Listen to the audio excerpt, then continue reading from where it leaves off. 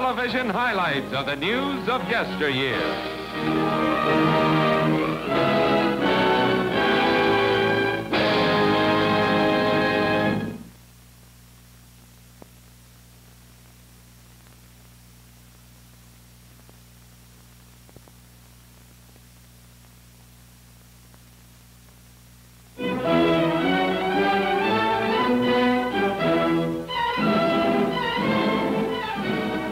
History is in the making early in 1934 as Italy trains for war. King Victor Emmanuel and Marshal Bodomo, one-time commander of Italian forces in an earlier conflict with Ethiopia, inspect graduate officers.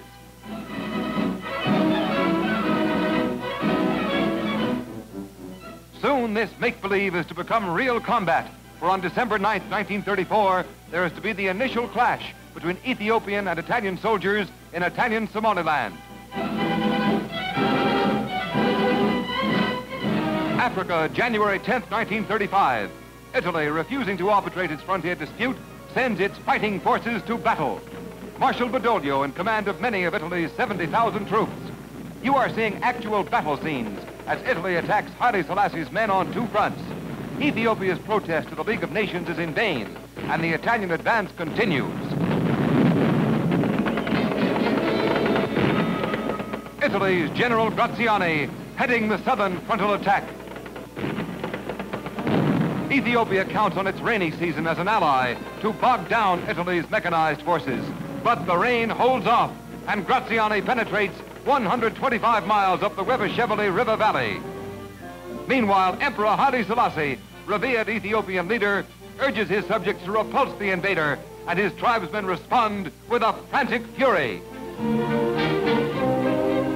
Badly equipped, woefully ill-trained, the Ethiopians match their spirit against the enemy's armor. Final battle of the war. Italian guns rake the road to Addis Ababa. Stark horror is in the wake of Italian bombers blasting native fortifications and clearing the way for charging hordes of Italian-trained cavalrymen, clearing out the Ethiopian defenders left after bombs and bullets have claimed their toll. Last stage of the war. Selassie, Lion of Judah, has been forced to flee to Palestine, leaving a lost land behind.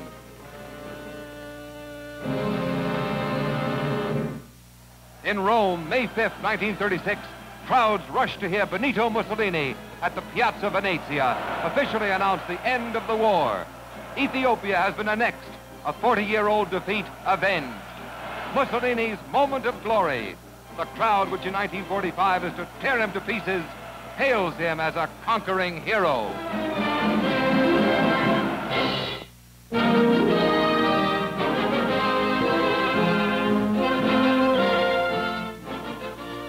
April 1939, and New York prepares for its greatest exposition, the World's Fair. Wait a minute, what's this? Don't be alarmed, friends. It's merely men putting the finishing touches to the huge diorama of New York City, which will be a feature of the fair. A model city of 4,000 buildings covering almost a city block and nearly 40 feet in height, designed to tell the story of New York to Flushing Meadow visitors. April 30th, Mayor LaGuardia and Grover Whalen officially open the New York World's Fair with Mayor LaGuardia receiving the first pass book. Symbolizing the theme of the exposition, the Trilon and Perisphere. It's opening day, and New York is waiting to welcome the world.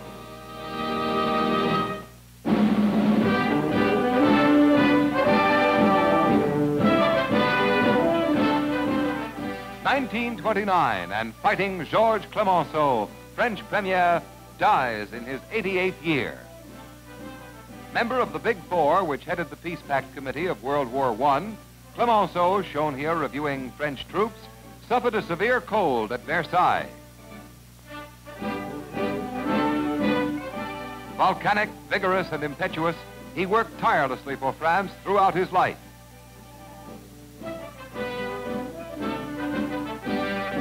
Shortly after inspecting war ruins, he visited America, doing much to cement Franco-American relations.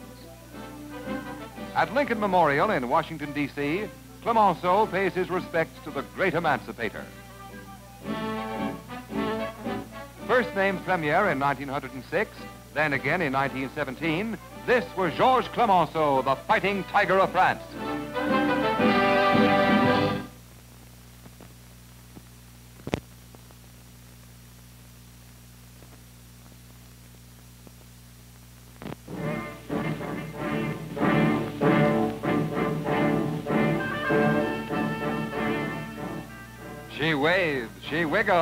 She dances. Most famous shimmy shaker of them all, Fatima, star of the Chicago World's Fair in 1893, immortalized by these museum piece movies, among the first ever made. Look at that gal go. The one, the only, the inimitable Fatima. Charles Evans Hughes, after 20 years of public life, retires in 1923.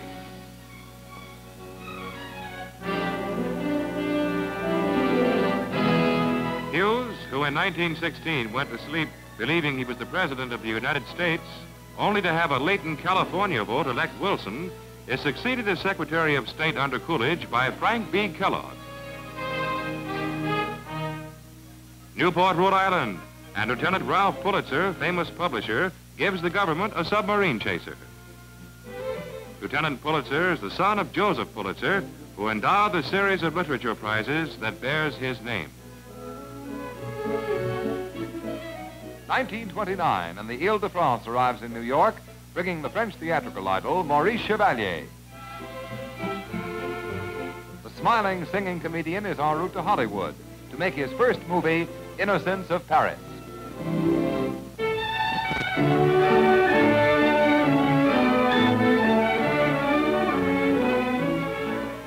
Florida in 1936, and fashions have gone to the heads of some girls. This is the latest in hair do's and don'ts. Forerunner of the upsweep is this curl creation. I hope the Greeks had a word for the style now being created.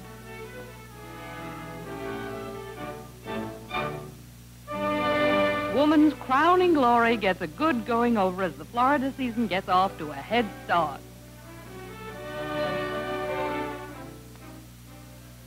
We're still in Florida to see some seaweed costumes and meet Annette Kellerman, dancing belle of Granddad's Day.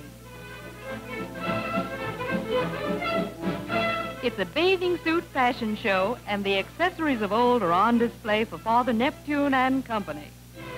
Here's a fetching number and some 1890 novelties. The Annette Kellerman overall coverall. And now for the 1936 stuff. First are the scanty suits, leaving much to the elements, but little to the imagination.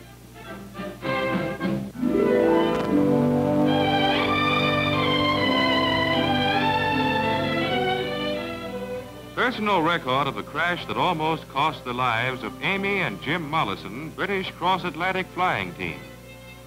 July 23, 1933, and an attempted non-stop flight from the coast of Wales winds up in disaster near Bridgeport, Connecticut.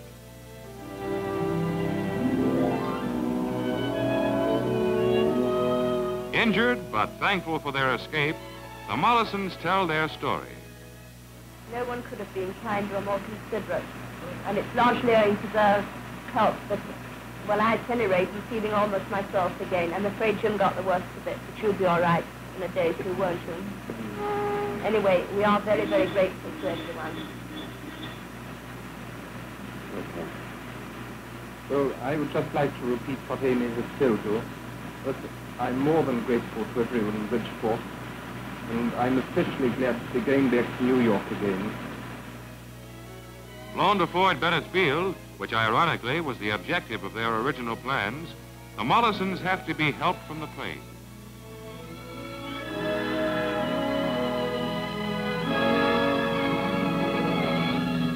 More seriously injured of the two is Jim Mollison. But the undaunted pair insist they'll try it again. Better luck next time.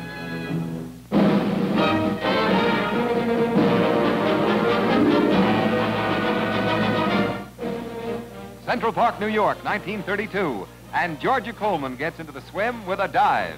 The national champion in a somersault one and a half. Georgia again in a front jackknife with a half twist. Championship form in this front one and a half somersault. Let's hear from you, Georgia. Glad to be diving again at Central Park. Just can't keep away. Helping to bring home the bacon. Swim star is Helene Madison after a record in the 500-meter freestyle.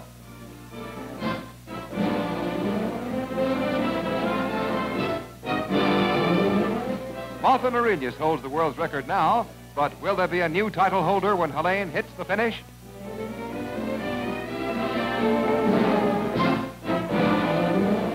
Only seconds now. Let her tell you herself.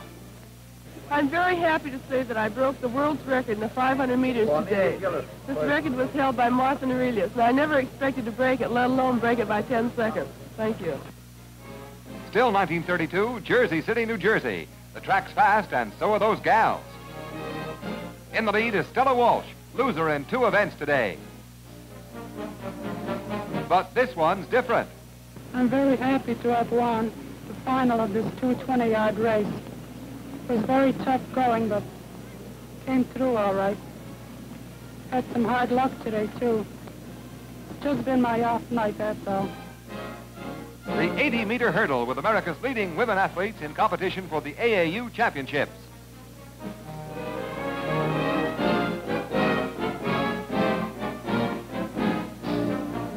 Winner, Mildred Babe Didrikson.